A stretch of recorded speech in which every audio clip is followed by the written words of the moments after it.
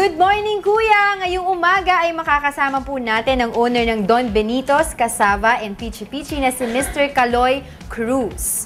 Good morning, Good morning, sir. good morning. Ayan. So, ah, tuturuan niyo po ako gumawa ng cassava. Oo. Okay. So, uh, wag mo po tayo magpatumpik-tumpik pa. Sabihin na po natin sa kanila kung ano po yung ingredients. Well, yung cassava cake natin, simple lang, no? Kasi kakanin to, eh. Yes. Um, kailangan natin is graded cassava, fresh. Wag yung harina.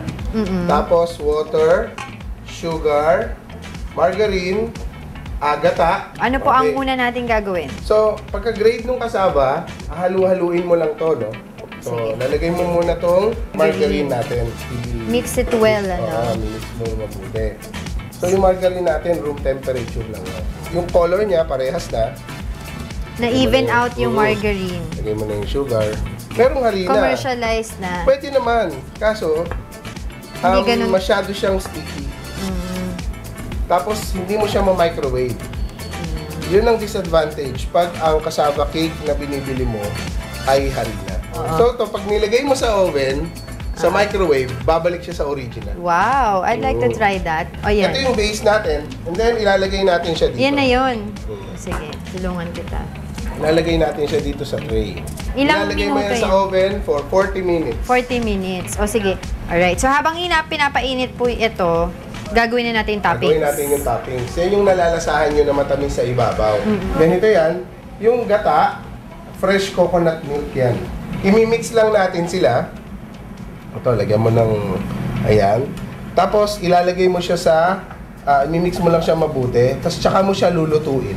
Puro natural ingredients ang ginagamit natin. Alright. At saka, pwede tayo sa vegetarian, hindi tayo gumagamit ng animal fat.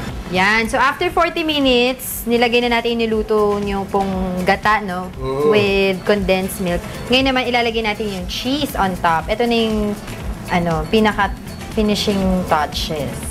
Okay, sir. So, ito na ang ating ah, cassava cake na Mm. pinaghirapan ni Sir Caloy yan. Mm. Magkano po isang tray na ganyan? Well, ang isang tray nito, 180, no? mm Alright, so titikman ko na siya. Habang tinitikman ko Oo. po, invite niyo po sila ah, tignan ng inyong Facebook account at kung ano-ano pang social media accounts para malaman po nila kung ano-ano pa ang ino-offer ng Don Benitos. Well, kung gusto nila ng wholesale, pwede nila akong makontak sa ah, 0922-885-2569 o kaya i-visit, i-visit nyo na lang yung page namin ah, FB slash Don Benitos Casava. Yan, Ah, kung sinisipag kayo, i-like nyo na rin. Yan, of course, ila-like nila yan kasi Mm. super sarap naman talaga nung kasaba.